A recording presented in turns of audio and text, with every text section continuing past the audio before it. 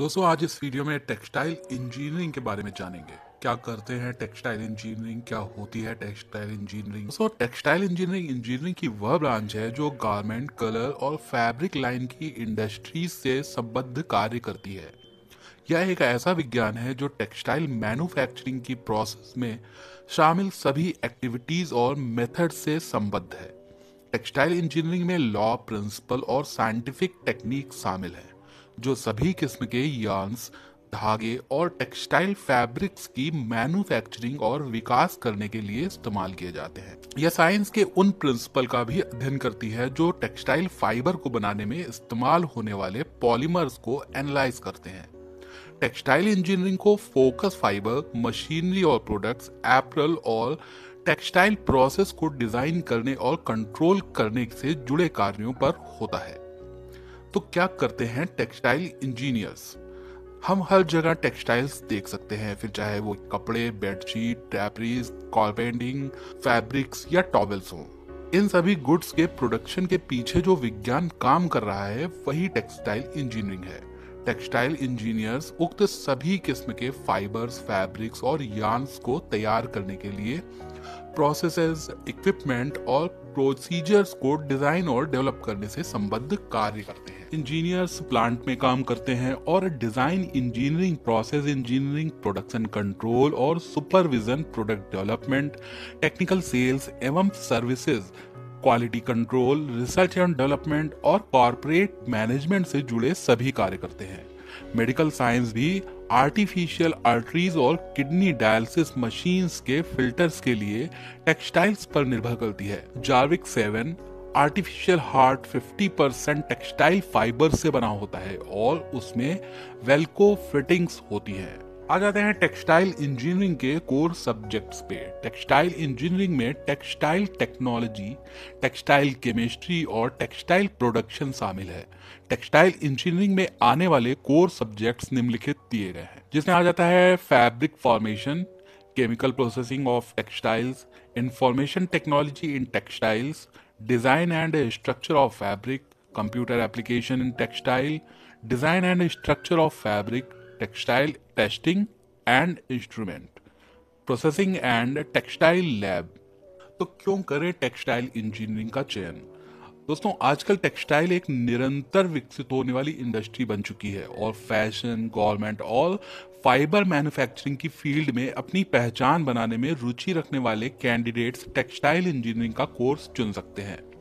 यह कोर्स छात्रों को एक शानदार करियर के लिए ढेरों अवसर प्रदान करवाता है, क्योंकि टेक्सटाइल इंजीनियरिंग की मांग और आपूर्ति कभी भी कम नहीं होगी। इसलिए टेक्सटाइल इंजीनियरिंग का टाइम और कार्य क्षेत्र लगातार व्यापक होता जा रहा है, और टेक्सटाइल इंजीनियरिंग ने भारत और विदेशों में कई किस्म की अवसर प्रदान करवाए हैं। टेक्सटाइल इंजीनियरिंग में रिसर्च और क्रिएटिविटी की बहुत अधिक ज़रूरत पड़ती है, और छात्र अपनी क्रिएटिविटी, इनोवेशन और साइंटिफिक नॉलेज का इस्तेमाल करते हुए अपने यूनिक आइडियाज़ को साकार कर सकते हैं। टेक्सटाइल इंजीनियर्स अपने स्किल्स और क्रिएटिविटी के आधार पर टॉप टेक्सटाइल प्लांट्स एवं कंपनियों में जॉब प्राप्त कर सकते हैं। टेक्सटाइल इंजीनियरिंग में कोर्सेज के बारे में। कई यूनिवर्सिटीज और कॉलेजों ने टेक्सटाइल इंजीनियरिंग में स्पेशलाइजेशन कोर्सेज शुरू किए हैं। टेक्सटाइल इंजीनियरिंग के सिलेबस में स्टूडेंट को मटेरियल और मशीन के interaction allergy energy conversation natural और मानव निर्मित मटेरियल्स पॉल्यूशन वेस्ट कंट्रोल और सेफ्टी तथा हेल्थ के बारे में जानकारी प्रदान की जाती है। भारत में टेक्सटाइल इंजीनियरिंग में निम्नलिखित चार किस्म के प्रोग्राम हैं। Polytechnic diploma course textile technology, textile engineering में डिप्लोमा, फैब्रिकेशन टेक्नोलॉजी एवं इरेक्शन इंजीनियरिंग में डिप्लोमा अंडर ग्रेजुएट कोर्स में आ जाते हैं। इसे अक्सर बीटेक प्रोग्राम के नाम से जाना जाता है। इस कोर्स की ड्यूरेशन चार साल की होती है। यह course 10 plus two exam pass करने के बाद दिया जा सकता है। टेक्सटाइल इंजीनियरिंग में बैचलर ऑफ़ टेक्नोलॉजी बीटेक आप कर सकते हैं। आ जाते हैं पोस्ट ग्रेजुएट कोर्स पे। इस कोर्स को एमटेक के नाम से जाना जाता है। इस कोर्स की अवधि दो साल है। इंजीनियरिंग में अंडर ग्रेजुएट डिग्री प्राप्त करने के बाद आप यह कोर्स कर सकते हैं बीटेक करने के बाद आप एमटेक कर सकते हैं। टेक्सटाइल इंजीनियरिंग में master of technology M tech textile engineering में मास्टर ऑफ़ टेक्नोलॉजी के बाद भी कोर्स है, आ जाते हैं डॉक्टोरल डिग्री पे। यह कोर्स पीएचडी डिग्री के नाम से जाना जाता है। इस कोर्स की अवधि एक से दो वर्ष की होती है। छात्र अपनी पोस्ट ग्रेजुएशन पूरी करने के बाद यह डिग्री कर सकते हैं पीएचडी पोस्ट ग्रेजुएट के बाद पीएचडी भी कर सकते हैं। आ जाते हैं टेक्सटाइल इंजीनियरिंग एंट्रेंस एग्ज़ाम की लिस्ट पे, जो होता है ग्रेजुएशन लेवल का। इसमें है JNU Jawaharlal Nehru university engineering entrance exam B I E S T Birla institute of technology and science exam, national institute of technology, Delhi college of engineering combined entrance test, Bharat university engineering entrance exam associate membership of institution of engineers Vellore institute of technology engineering entrance exam all india engineering entrance exam all india common entrance test iit joint entrance exam Uttar Pradesh state entrance exam आ जाते हैं textile engineering करने के बाद कौन कौन से रोज़गार होते हैं क्या क्या अवसर आपको मिल सकते हैं टेक्सटाइल इंजीनियरिंग में फैशनेबल कपड़ों की मांग को ध्यान में रखते हुए बहुत ज़्यादा रिसर्च, क्रिएटिविटी और इनोवेशन की ज़रूरत होती है।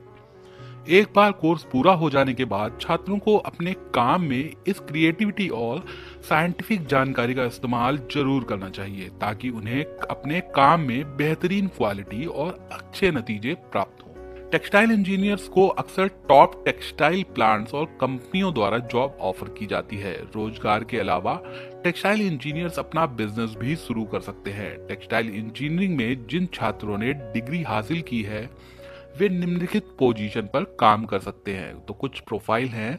Medical textile engineer, process engineer, operation trainee, quality control supervisor, process improvement engineer, technical sales person तो आ जाते हैं भारत में इन टेक्सटाइल इंजीनियर्स को जॉब प्रदान करने वाले कुछ रिक्रूटर्स के बारे में।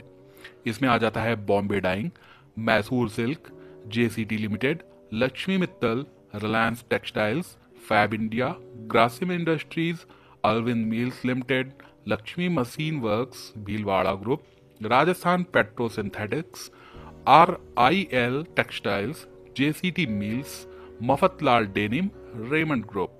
और भी बहुत सारे रिक्रूटर्स इंडिया में आ जाते हैं।